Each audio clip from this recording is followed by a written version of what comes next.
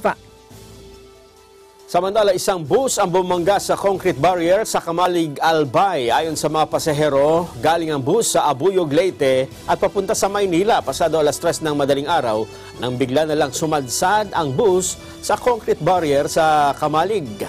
Napag-alaman na nakatulog ang driver kaya nangyari ang pagbangga.